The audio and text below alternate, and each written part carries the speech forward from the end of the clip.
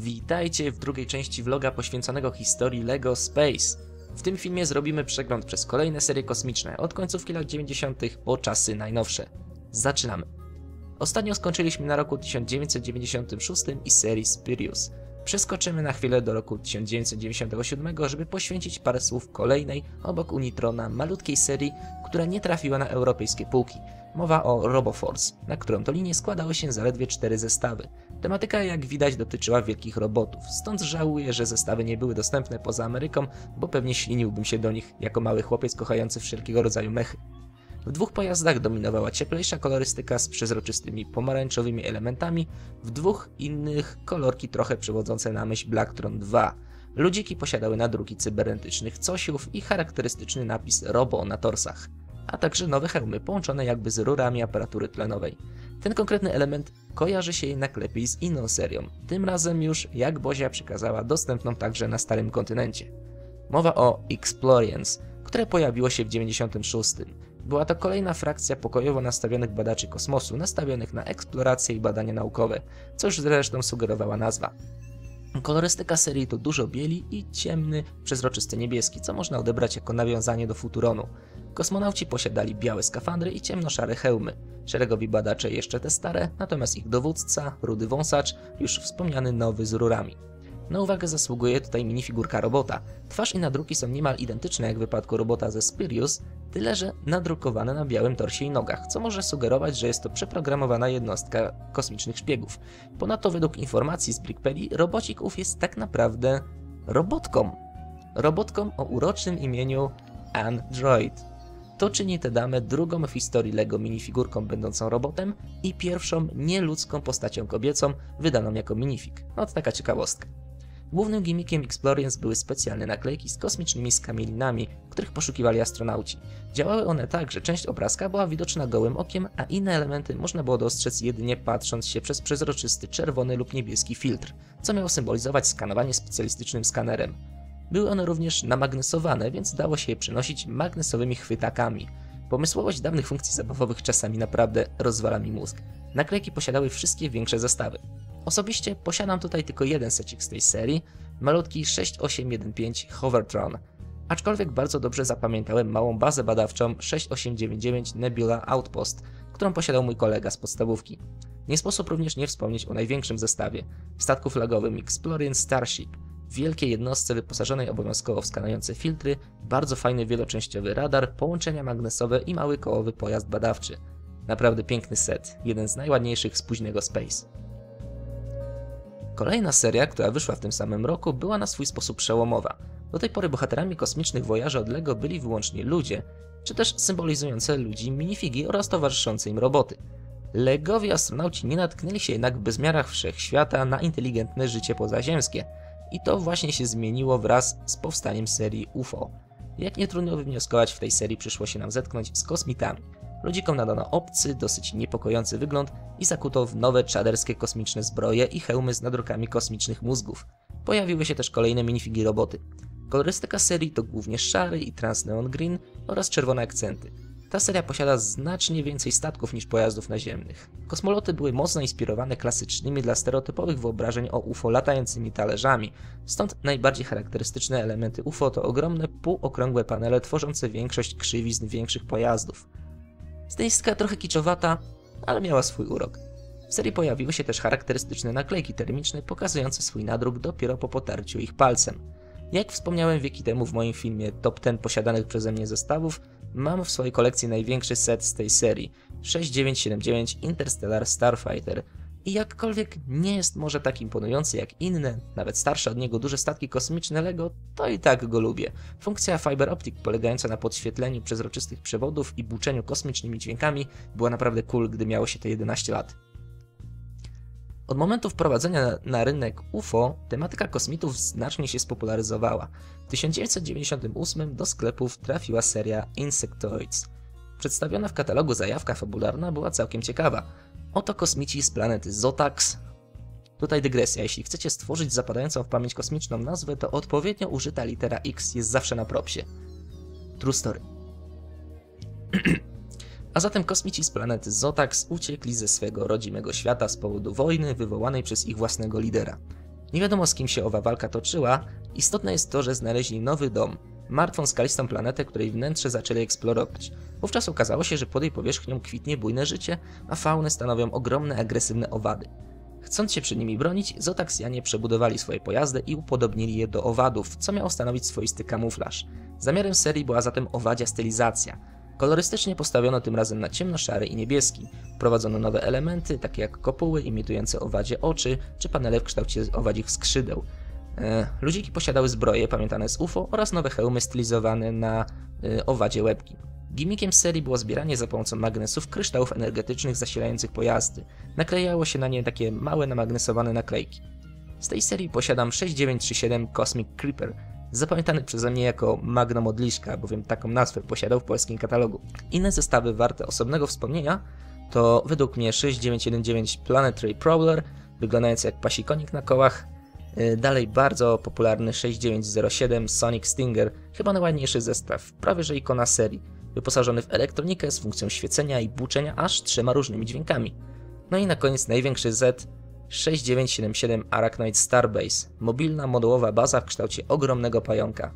Prawdziwy czat. Insectoids to według mnie jedna z najciekawszych, najoryginalniejszych serii późnego Space.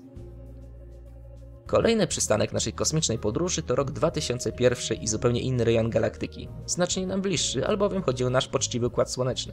Seria Life on Mars traktowała grupce astronautów wysłanych w kosmos z misją eksploracji czerwonej planety, na której, jak się okazało, rozwinęło się inteligentne życie.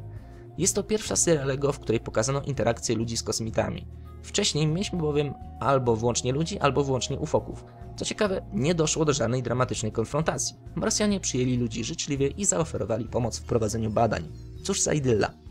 Seria kładła raczej mały nacisk na ludzi, istnieją zaledwie cztery figurki ludzkich astronautów, wydano natomiast ponad dwa razy więcej e, minifigów Marsjan.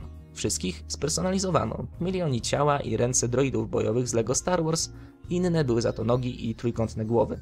Znalazło się wśród nich nawet miejsce dla płci pięknej, takiej oto ślicznotki, według Bricklinka noszącej imię Cassiopeia. Do ludzi należą w tej serii zaledwie dwa większe pojazdy, kosmiczny łazik 7312 T3 Trike oraz prom kosmiczny 7315 Solar Explorer.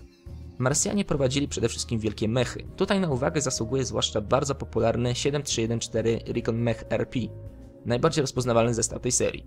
Ciekawym pomysłem była też baza 7317 Aerotube Hangar, w całości zdominowana przez system długich, szerokich rur służących do błyskawicznego transportu minifigów w inne sekcje. Ludzika wkładało się z jednej strony rury i puszczało go w ruch za pomocą powietrza z pompki. Wraz z nastaniem początku nowego milenium, tematyka Space zeszła na parę lat ze sceny. Seria Star Wars, jakkolwiek rozpoczęta już w 1999, pochłonęła na tyle tematykę kosmosu, że po Life on Mars LEGO najwyraźniej uznało, że nie ma na razie sensu inwestować w odautorskie kosmiczne serie. Punkt zwrotny nastąpił w 2007. Seria Mars Mission, jak nie trudno się domyśleć, kontynuowała temat eksploracji czerwonej planety. Astronautów wyposażono tym razem w coś więcej niż jeden łazik i prom.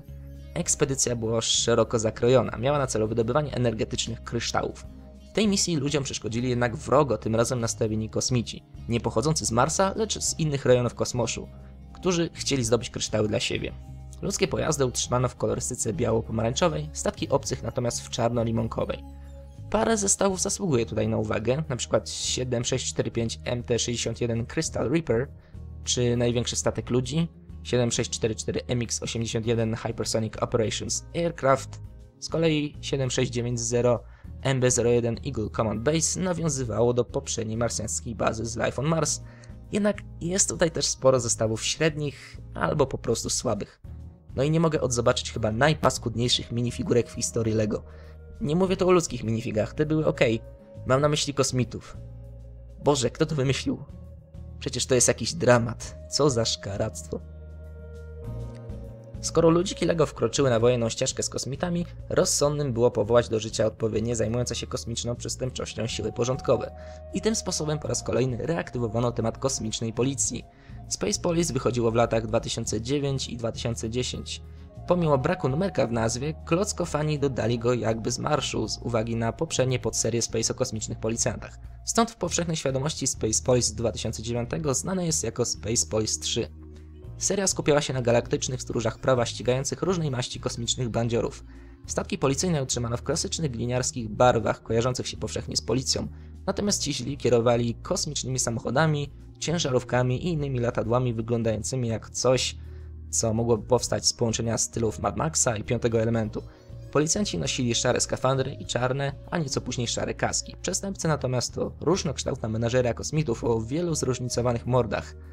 I tutaj mam jedyny w zasadzie problem z tą serią.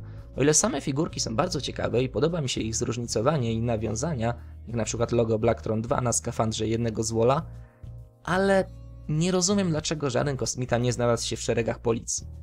To jest oczywiście trochę czepialstwo na siłę, bo naturalnie rozumiem, że jest to takie specjalne operowanie prostymi schematami. Wiadomo, że dzieci łatwiej się będą identyfikować z przyjaznymi ludzkimi twarzami, a nie z brzydkimi kosmitami, ale serio, można to odebrać jako taki przekaz, że człowiek zdaje się być jedyną cywilizowaną istotą w galaktyce, a wszystkie inne rasy to bezwzględne bandziory, których trzeba koniecznie wyłapać i zamknąć w celach. Trochę to takie płytkie. Naprawdę nie można było przeoblec w mundur chociaż jednego jaszczuroludzia, żeby pokazać, że nie wszyscy kosmici są źli? Niekoniecznie dla przekazu, ale zwyczajnie dla zwykłego zróżnicowania. No dobra, ale wpadłem w dygresję. Same zestawy całkiem mi się podobały. Doceniam bardzo nawiązanie do starszych serii, zawarte w zestawie 5974 Galactic Enforcer w postaci pomnika klasycznego astronauty.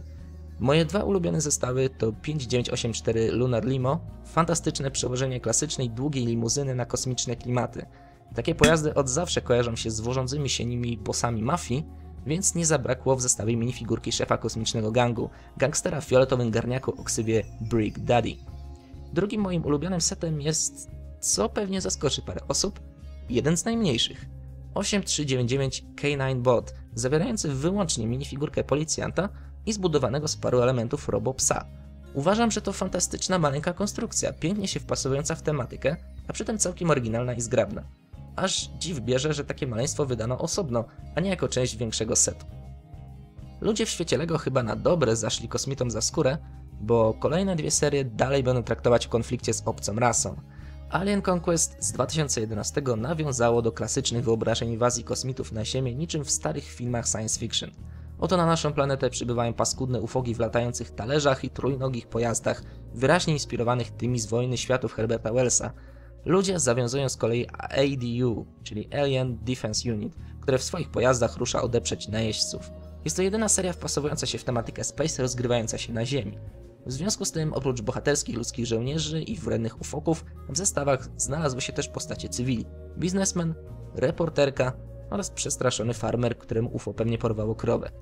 Różnokształtnym kosmitom towarzyszyły z kolei małe, jednookie stwory, które można było założyć minifigowi na głowę, symulując tym samym zapewne przejęcie yy, jego mózgu. Ciekawostką jest to, że w serii ósmej minifigów kolekcjonerskich znalazła się damska wersja kosmity z Alien Conquest.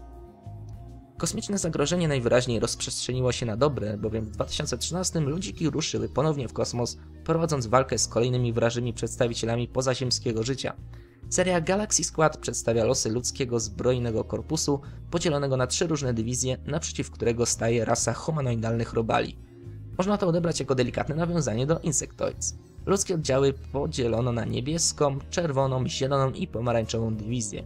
Ciekawym jest to, że wszyscy ci żołnierze dostali robotycznych pomocników, różniących się nie tylko nadrukami, ale i kształtem główek. Wśród kosmitów wyróżniono natomiast nierozwiniętą larwę, szeregowego robala, e, robala na sterydach i przyrośniętego komara. Chyba najgorsze, co może spotkać człowieka. W tej serii podoba mi się to kolorystyczne zróżnicowanie pojazdów ludzi. E, daje to wrażenie różnorodności na tle zunifikowanej stylistyki owadzich obcych, ich również stylizowanych na insekty pojazdów. Niestety póki co na Galaxy Squad kończy się tematyka oryginalnych serii kosmicznych LEGO. Długa, zapoczątkowana jeszcze w latach 70. kosmiczna podróż minifigów została wstrzymana. Od czterech lat poza nielicznymi tematycznymi minifigami kolekcjonerskimi nie powstało nic nowego w tym zakresie. Czy jest to wina pompowania w pokrewną tematycznie serię Star Wars, czy może winne są słabe wyniki sprzedażowe ostatnich space'owych serii? Nie mam pojęcia. Osobiście, jako miłośnik zarówno fantastyki naukowej, jak i duńskich klocków, żywię wielką nadzieję, że kiedyś tam ludziki raz jeszcze ruszą w kierunku gwiazd. Zobaczymy, co przyniesie przyszłość. Dziękuję Wam za uwagę, mam nadzieję, że materiał się spodobał i raz jeszcze uzupełnił niektórym wiedzę na temat starszych serii. Kolejne materiały w tym stylu są w przygotowaniu, zostańcie ze mną, a na razie odmeldowuję się. Do usłyszenia.